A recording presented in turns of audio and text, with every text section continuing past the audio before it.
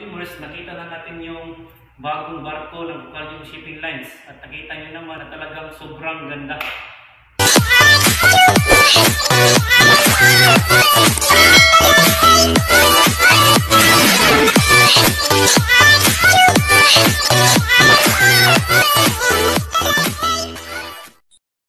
What's mga ka-dreamers?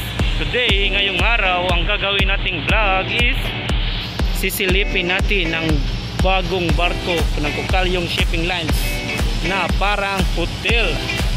So ito, kita nyo naman yan. Nandito ako ngayon sa Pier Ono kung saan nandito yung MV Pilipinas Mindanao na bagong barko ng Kukalyong Shipping Line. So ito po yun. Yeah. So tara, let's go! So mga ka-dreamers, Silipin na natin yung bagong barko ng Bukalyong Shipping Lines na parang hotel. Oh my God. Ang ganda kasi kaya pinuntahan ko talaga dito. Yung mga kita ko sa mga pictures. So dito ako dadaan sa budiga nila. Hindi pa nakadaan yung ano. Dito, i Ibili ng sapatos. So tara. Ibili ng sapatos kay Hugaw. First na bili na iwan ko na yung sapatos ko. Tara, let's go. Wow, talaga sobrang kinis pa mga kadimers. Oh my god.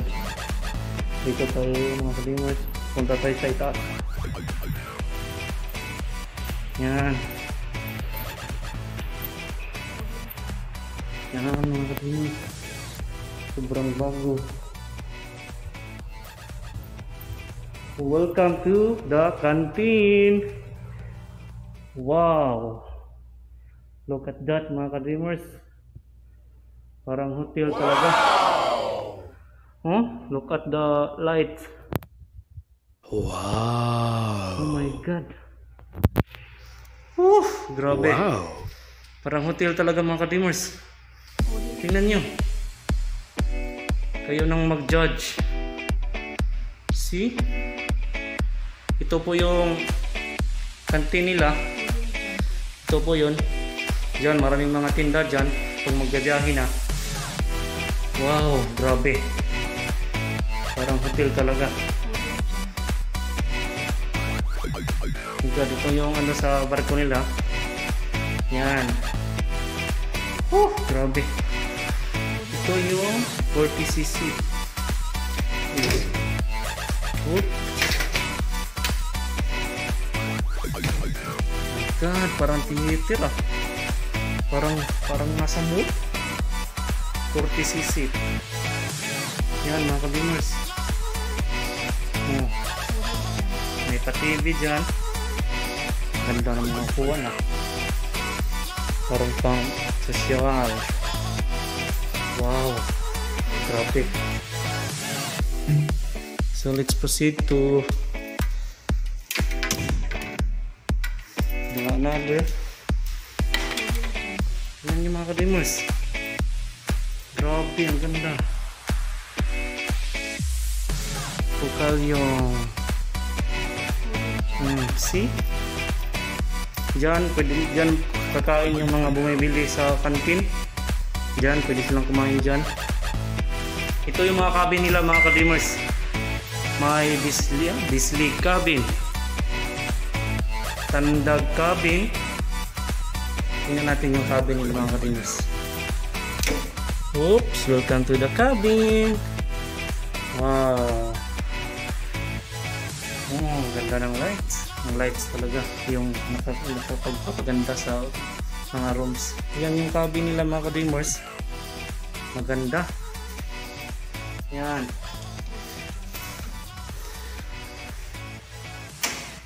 So, nakita natin yung cabin. So, let's proceed to the Uzamis tourist. Ito tourist nila mga kadimers. Yan yung tourist.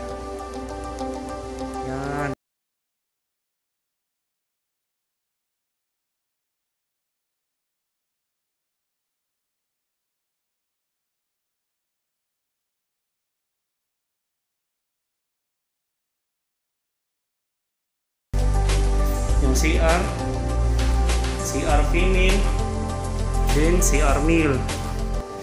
Then, pagkatapos sa tourist, ito na, economy. Nandito yung economy. Yan yung economy nila mga ka-dreamers. Economy yan nila. Yan yung economy. Grabe, ang ganda talaga mga ka-dreamers. Grabe, ang ganda. Sobra. Hindi talaga, maganda mga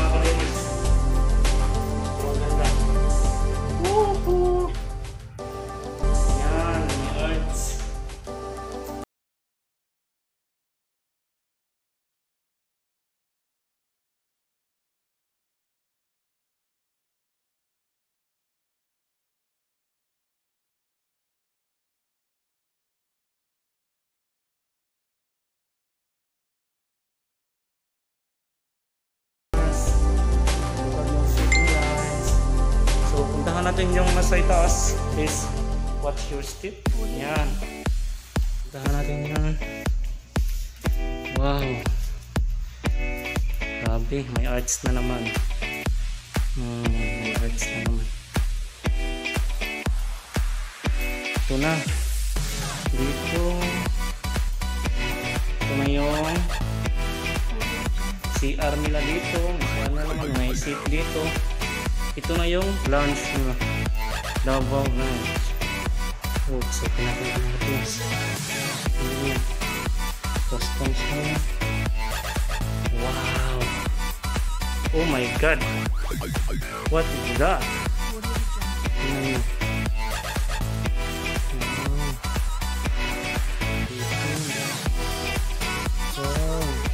Oh.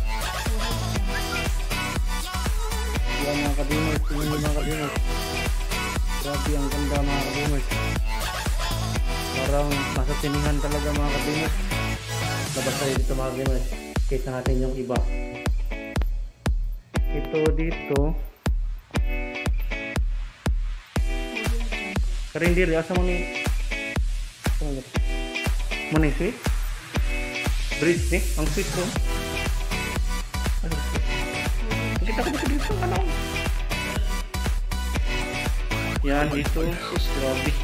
Ito yung CR. Ganda ng CR mga kadumers. Oh. Yan, papunta na yan sa bridge. May another... Ah, ito yung suit. Wow! Yan yung sweet room nila mga kadimers. Yan. Yan yung sweet room nila.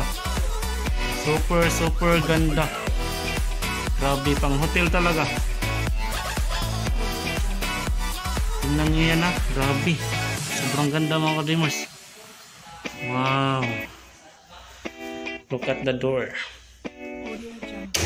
General Santos Suite. Ito yung bridge nila mga kadimers. Siguro ito yung bridge nila mga kadreamer.